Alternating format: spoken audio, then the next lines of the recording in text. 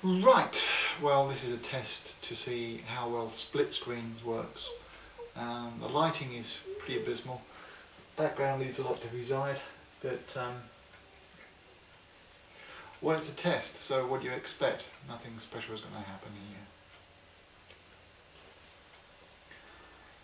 This is using um, Windows Multi, no not Windows Multi, Windows Media Movie, no?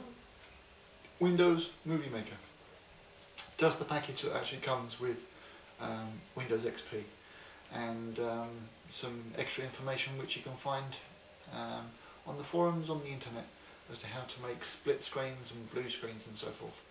No special hardware or software required. Well, okay, special hardware perhaps because we need a video camera, but other than that, it's all pretty cheap and cheerful stuff.